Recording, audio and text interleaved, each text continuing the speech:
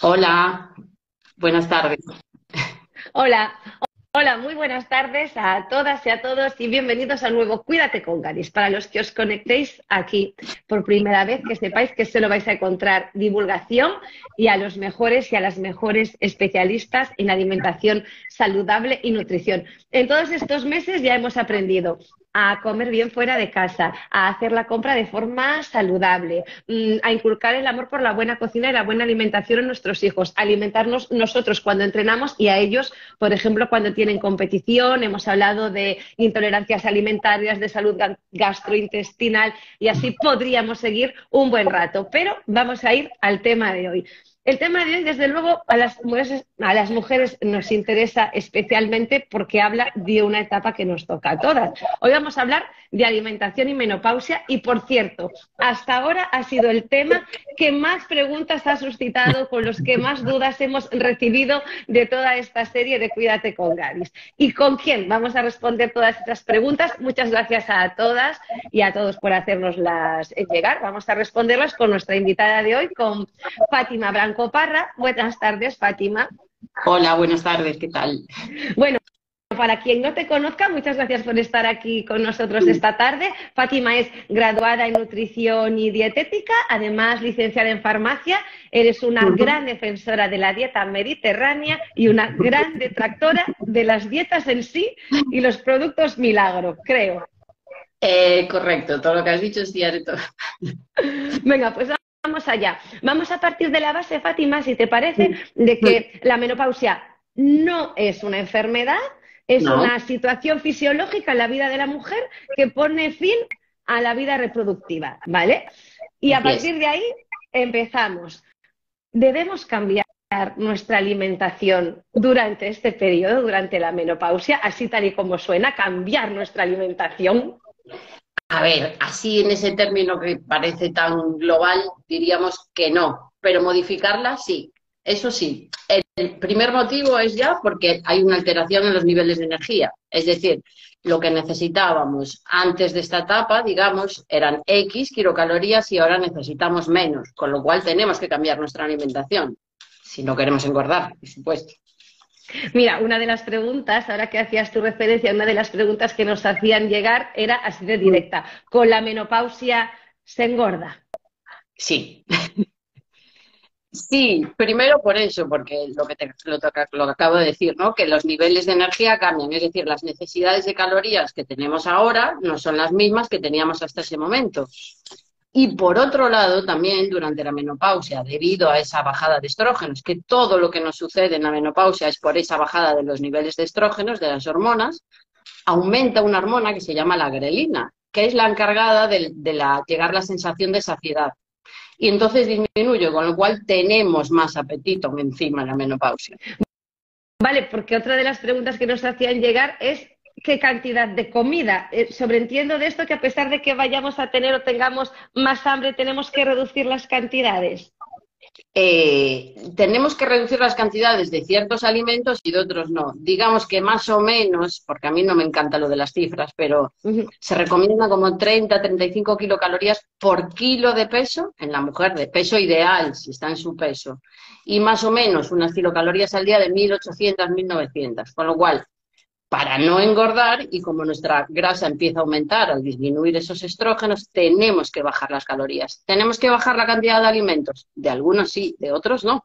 Hay algunos que sí que deberíamos bajar y otros que deberíamos potenciar, ya no solo por ese déficit de calorías que tenemos que ingerir, sino porque necesitamos otros micronutrientes, sobre todo para reforzar nuestra salud ósea, que empieza a empeorar, nuestra salud muscular y nuestro sistema cardiovascular también, porque es la menopausia cuando empieza a aparecer esas subidas de colesterol, de tensión arterial, de glucosa en sangre, etc. Venga, entonces, ¿cómo luchamos contra eso? ¿Qué, eh, sí que debemos modificar? ¿Qué hay que disminuir y qué hay que aumentar? Bien, buena pregunta. Lo que hay que quitarse es del azúcar, eso ya. si hemos llegado a este momento de nuestra vida y seguimos echando esas cucharaditas de azúcar en el café, en la infusión, en el yogur, etcétera, fuera. eso fuera. Lo que ya no deberíamos comer en ninguna etapa de nuestra vida, bollería, alimentos precocinados, ¿vale? Eso fuera también. Ah. Desde mi punto de vista, el tema lo que es eh, los carbohidratos, ¿vale? Procedentes de patatas, arroz, pasta, tenemos que empezar a rebajarlos también, ¿vale? Porque estamos muy acostumbrados a acompañar todo con patatas, todo con arroz, todo con pasta. Y eso es una manera de que nuestras calorías cada vez sigan aumentando y en la menopausia no, no podamos perder peso, ¿vale? Eso por un lado. Por otro lado, ¿qué tenemos que introducir? Alimentos que nos proporcionen calcio, ¿vale? Vitamina D, fundamental, porque sin la vitamina D, por mucho calcio que metamos en nuestra dieta, no se absorbe a nivel intestinal.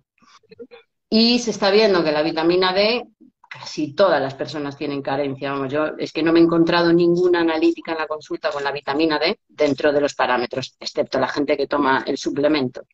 Entonces, alimentos que nos aporten vitamina D, alimentos que nos aporten calcio, alimentos que nos aporten magnesio, muy importante para los músculos también, y después alimentos que nos aporten omega 3.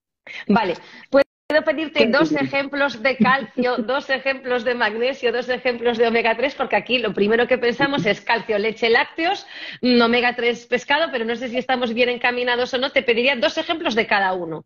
Sí, sí, sí, claro que sí. Desde luego, la mejor fuente para aportar calcio son los lácteos, ¿vale? Leche, yogur, queso. ¿Qué pasa? Que los quesos, que muchas mujeres son muy adictas al queso y es una cena muy recurrida porque es muy rápida, no se puede cenar queso todos los días. Necesitamos aporte de calcio, pero podemos buscarlo, por ejemplo, de los yogures, que nos aportan muchísimas menos calorías, ¿vale? Entonces, todos los días necesitamos algún alimento de origen lácteo, ¿sí? Buscando los que tengan menos grasa, ¿vale?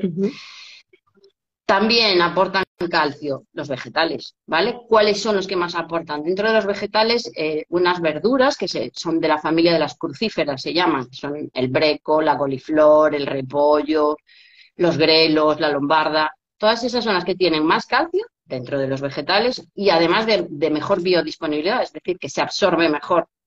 Pero también nos aporta calcio las semillas, ¿vale? Que, por ejemplo, las pipas de calabaza son geniales, tienen, aportan un montón de calcio. Entonces, no solo tenemos calcio procedente de origen animal, sino también vegetal, ¿vale? Que ahí tenemos las semillas, por ejemplo, y estas verduras, las crucíferas, el famoso brécol. vitamina, vitamina D. ¿Qué pasa con la vitamina D? Eh, del 100%, digamos que nosotros absorbemos de la vitamina D, el 80% es de la luz solar. ¿vale? El 20% restante es de la alimentación, con lo cual, aunque ingiriésemos alimentos con vitamina D todos los días, no nos llegaría, ¿vale? Por eso es tan importante caminar a la luz solar, no hace falta estar tomando el sol. ¿Cuál es el problema? Que no tenemos mucho sol, por ejemplo, en Galicia, ¿no? Pero no es despreciable esos alimentos que tienen vitamina D. ¿Cuáles son? Pues como dijiste muy bien, los pescados azules, ¿vale? Que además también tienen omega 3. El huevo, que es un alimento perfecto y también para la menopausia, porque nos aporta la proteína perfecta, nos aporta calcio, magnesio, nos aporta los omega 3. Y las setas, los champiñones también tienen mucha vitamina D y el aguacate. Oye, yo recuerdo a mi madre durante la menopausia que siempre llevaba frutos secos en el bolso y los sacaba de vez en cuando. Este hábito, que supongo que es muy común, A ver, tu madre era muy sabia porque los frutos secos y en especial las almendras y las nueces también nos aportan calcio, ¿vale? También nos aportan magnesio, pero ¿cuál es el problema? Que aportan muchísimas calorías. Mm, es el alimento con mayor densidad calórica, es decir, por su peso es el que más aporta calorías. Entonces yo no los llevaría en el bolso.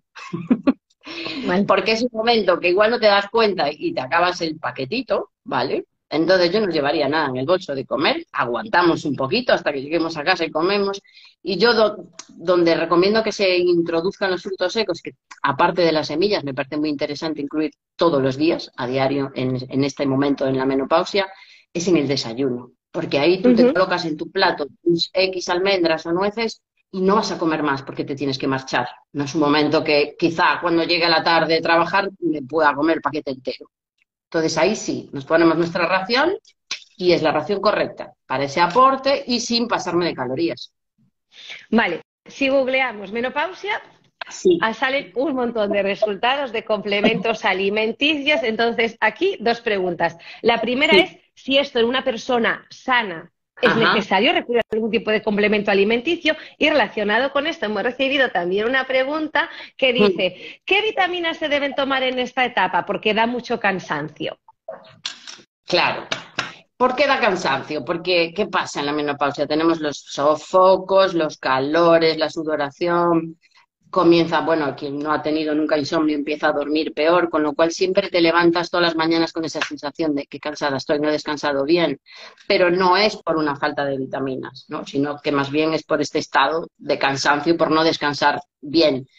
Entonces, en teoría, a priori no necesitaríamos un aporte vitamínico extra, que no sea de la alimentación, con excepción de que nosotros tengamos una carencia. Es decir, si yo tengo bajo el ácido fólico o tengo baja la vitamina D, pues evidentemente, o bajo el hierro, que no es normal tener bajo hierro en la menopausia, porque al retirarse la regla, al haber menos sangrado, menos pérdida de hierro. Pero en esos casos que sí, pero hay que hacerse una analítica y comprobar que exactamente me falta tanto, ahí sí que meteríamos un aporte, pero si no, yo no recomiendo los complementos alimenticios.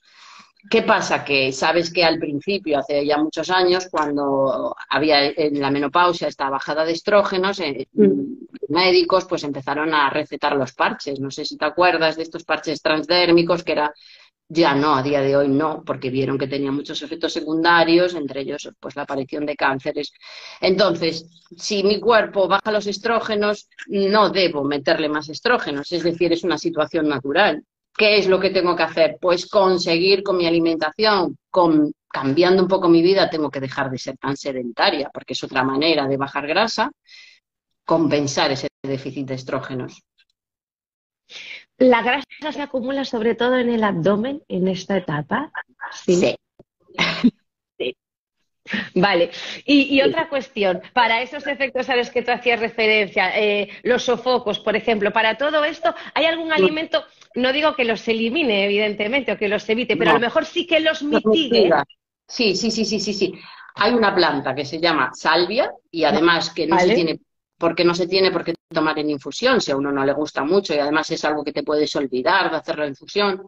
La hay también en comprimidos y es maravillosa porque aparte de que es antioxidante, nos ayuda a hacer mejor la digestión, disminuye los sofocos, disminuye la sudoración y disminuye el cansancio físico y psíquico. La salvia divina, de verdad, y comprobado. ¿eh? Venga, salvia para todas. ¿Y hay alguna otra infusión que también sea recomendable? Las infusiones para el, nivel de hidratación y todo esto en esta etapa también están muy recomendadas. O hablando de hidratación, mucha agua, como siempre. A ver, el agua, por supuesto. Eh, infusiones también. Lo que pasa que yo huiría un poquito de todas las que sean excitantes, tipo té verde, todo ¿Por qué? Porque si ya no descansamos muy bien y estamos tomando lo mismo que el café, pues un par de cafés, pero no pasarse con la cafeína, porque si no vamos a llegar en un estado aún peor a la noche, ¿vale? Entonces infusiones sí, pero que no sean excitantes. Siempre vienen bien las infusiones. La grasa abdominal, vale, se va a acumular ahí, pero tú hacías referencia antes a esa vida sedentaria y aquí estamos hablando de alimentación saludable, pero entiendo que en esta etapa, en todas, pero en esta sí o sí es muy importante la actividad física, el moverse, eh, seguro que sí, que para complementar esa alimentación que vosotros proponéis. Es que es fundamental, date cuenta que uno de, las, de, lo, de, lo, que sucede en la menopausia es que disminuye nuestra masa muscular, o sea, disminuye la masa muscular y disminuye la masa ósea. Entonces tenemos que hacer ejercicio para intentar que no sigamos perdiéndola. Porque ¿qué pasa? Además, que cuanto menos masa muscular, más grasa, más seguimos engordando. Lo que interesa es que nuestro cuerpo, esa proporción grasa-músculo, disminuya grasa y suba músculo, porque así podemos tener, digamos, más permiso para tener más calorías en nuestra dieta. Eso, digamos, ya a nivel calórico, pero a nivel de salud lo mismo. Cuanto más fuerte está el músculo, el hueso está más protegido, menos se descalcifica. Entonces hay que hacer ejercicio sí o sí. Y además, no vale con, no, yo voy andando al trabajo. Eso está muy bien y hay que moverse, pero es que tenemos que hacer ejercicio de fuerza las mujeres, ¿vale? Eh, yo me he fijado desde, pues imagínate, unos 20 años para aquí, antes en los gimnasios no veías a chicas con mancuernas, no veías a chicas levantando peso, era aeróbic o zumba. Porque ya no, no, vosotras no, vosotras tenéis que hacer estos ejercicios. Eso es para los hombres, ¿no? Porque os vais a poner así, os ponéis muy musculosas, os parecéis hombres. No es verdad, nunca vamos a llegar a, desarrollar ese, ese nivel muscular porque aparte que las mujeres tenemos menos cantidad de masa muscular que los hombres por naturaleza. Así que, mujeres, a trabajar ejercicios de fuerza, que yo sé que no les gusta, a algunas, a otras sí, pero hay que hacerlo, hay que hacerlo. Todo el mundo a coger peso, todo el mundo a coger peso y mi pregunta ahora es, todo esto de lo que estamos hablando, estos cambios que debemos introducir, incluso en la forma de hacer ejercicio, desde que aparecen esos primeros síntomas, esto que nos avisa que está llegando, o, hay más o menos una edad en la que se suele empezar a, recomendar, pues bajar las calorías, ya coger el peso. Yo, en la consulta, digo, chicas, 40 años, hay que empezar a ponerse las Hasta ahora decías, va, hacen un par de días ensalada y todo va bien. Ahora ya no. Pero es que ya me lo dicen ellas, me dicen, Fátima, ahora no es lo mismo. No. Entonces, claro, hay mujeres que se les retira la regla a los 45, a los 50, a los 55, pero vamos a poner una edad para más o menos hacernos una idea, 40 años para adelante, a cuidarse a tope. Claro, vamos a dejar claro que no es una cuestión de peso, que estamos hablando de salud y todo, eh, pero que la menopausia hay, hay esa preocupación porque tu cuerpo cambia enormemente. Claro. Ahora quería Dime. No, es que te iba a decir, es que evidentemente lo que es estética y salud va unido, porque si yo tengo más grasa abdominal no me gusta, porque me sale por encima de los pantalones y no me veo favorecida, y antes no la tenía, digo, ¿qué está pasando aquí? Pero es que esa grasa abdominal es la que está haciendo que a mí me suba la tensión, que a mí me suba el colesterol, que a mí me suba la glucosa. Eso, que van las dos cosas unidas. La tensión arterial también. También. También. Es, algo propio de la menopausia. Sí, sí, sí, sí. Mujeres que siempre han tenido pues una tensión normal, 10, 6, 11, 7, pues siempre sube un poco. Hmm. Y el colesterol es lo mismo, lo mismo. Venga, pues vamos a aprovecharnos si queremos ejemplos prácticos, porque luego uno como que se agobia, que no sabe qué hacer. Entonces, eh, desayuno. Bien. Una, una fruta. Ojo con la fruta, ¿eh? Ojo con la fruta, que es buenísima, sanísima, vitaminas, antioxidantes, agua, pero tiene azúcar. Azúcar, bueno, no es un azúcar refinado, pero no es lo mismo un niño de 5 años que está creciendo y corriendo todo el día, que se puede comer cuatro piezas al día, que una mujer que ya no se debe comer cuatro piezas al día, ¿vale? Entonces, con dos piezas al día más o menos suficiente, ¿sí? Entonces, debo incluir fruta todos los días, pero no me debo pasar, ¿vale? Bien. Fruta entera, fruta entera, ¿no? Mejor. Al exprimirla se transforma el azúcar, no es lo mismo. No, no es que se transforme en azúcar, tiene el mismo azúcar una naranja sin exprimir que una naranja exprimida. Pero ¿qué pasa? Que al exprimirla y no va la pulpa, no va esa fibra, ah. ya hace que el azúcar en mi sangre, que mi glucosa, se dispare. ¿Vale? Eso es. Entonces, esa subida de insulina que es necesaria para digerir, digamos, esa glucosa, hace que me aumente la grasa, ¿vale? Entonces, mejor empieza siempre y solo desayuno una fruta, puede acompañarlo de un café uno al día, una infusión, una salvia, algo más. No, lo que pasa es que aproveché para decirlo de la fruta porque veo que la gente se pasa mucho con la fruta, se mete ahí. No, venga, una fruta. Después, si metemos una fuente proteica, estupendo, que puede ser un yogur, no me tengo que hacer una tortilla francesa a la mañana, ¿vale? Pero también no me, da la vida. El huevo, pero con un yogur, fantástico, ¿vale? Y después algo de carbohidrato, que tenemos que elegir el mejor, ¿vale? No harinas refinadas, no nos vamos a ir a los cereales llenos de azúcar, no nos vamos a ir a la bollería, pero bueno, por ejemplo, un pan bueno, estos panes buenos que tenemos en Galicia, además, ¿vale? Con un poquito de aceite, un poco de tomate, un poco de aguacate, que decimos que era tan bueno, o si no, unos copos de avena con el yogur y nuestro cafecito con nuestra infusión. Eso sería un desayuno bueno. Un café al día, sí, vale, genial. Eh, también, ¿eh? Dos también. Ah. vale, tempranito, para que no nos afecte más al insomnio. ¿Y mm, una merienda? ¿O mm. no merendamos? A ver, es, que eso, eh, sabes que hay el, lo mítico, hay que hacer cinco comidas al día. Mm, yo no estoy a favor de eso. puedes hacerlas, no está mal si las haces, no es necesario tampoco. Desde luego que si las haces, que sean buenas, ¿no? si yo meriendo un bocadillo de mortadela, pues mejor que no hagas las cinco comidas al día. Y después también depende un poco pues de dónde te encuentres ahí en la tarde. Igual estás trabajando y no puedes comer nada, pero vamos, yo recomendaría incluir ahí otro yogur, por lo que hablábamos al principio del calcio, ¿vale? De la vitamina D, mejor que la fruta, porque ya a esa hora, como nuestro metabolismo va más lento, pues la fruta con su azúcar, mejor que sea por la mañana o a media mañana. Yo incluiría el yogur. Vale, y una cena, y ahora la pregunta es, ¿cuándo ceno? Si sé a qué hora me voy a ir a la cama. No sé si hay una hora ahí recomendada, por las calorías, por los ciclos de sueño, con cuánta antelación. Claro, es que esa es otra. Cuanto más temprano cenemos, mejor, evidentemente. Si ceno y me voy directamente a la cama, no voy a hacer bien la digestión o me va a coincidir justo en esas primeras etapas del sueño y no voy a dormir tan bien. Pero es lo mismo, según a qué hora vengamos de trabajar o según cuando acostemos a los niños o cuando pueda hacerlo. Cuanto antes, mejor. Pero de todas formas, tenemos que cenar liviano. Si no cenamos una fabada, tampoco pasa nada. Es decir, con una hora es suficiente para irse a dormir pero sí que no sea ni muy escasa, porque si no nos entra el hambre a mitad de la noche, ni que sea muy copiosa. Por ejemplo, ¿qué cenamos? Yo recomiendo, recomiendo cenar de plato, ¿vale? Eh, la gente que dice, no, yo no ceno, mm, sí que cenas, picoteas. hay que poner un plato y hay que cenar. Porque el picoteo es peligroso. Sí, no eres ni consciente de lo que estás comiendo. Descontrolado. efectivamente dices, no, no, de verdad que te dicen, no, no, no cené nada. Yo, no es posible, no me digas que no cenaste nada. Bueno, no, es que llegué y comí esto. Después abrí la nevera y esto otro. Después mientras preparaba esto, piqué un poquito de esto. Y dije yo, al final ponte todo eso en un plato. ¿Cenaste o no cenaste? Entonces hay que hacer la cena, como si fuera el mediodía, ¿vale? El que una fuente proteica, huevo, pescado, las conservas de bonito también están muy bien. Normalmente a la noche no tenemos tantas ganas de complicarnos, estamos cansados de todo el día, pero se pueden hacer cenas rápidas, pollo.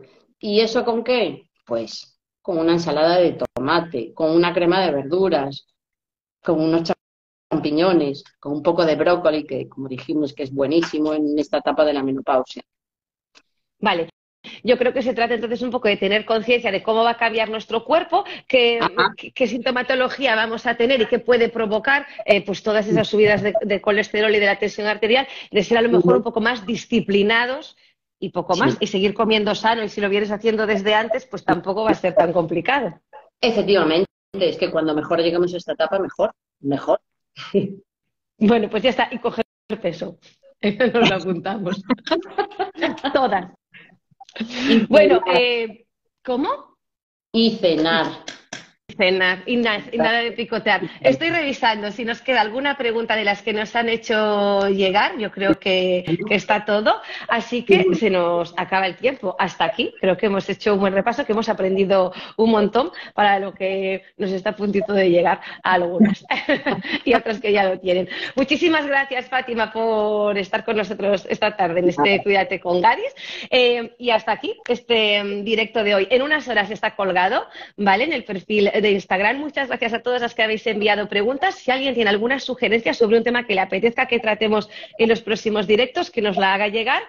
Y nada más, nos vemos muy pronto aquí. Chao, buena tarde. Gracias a vosotros por contar conmigo. Chao, chao.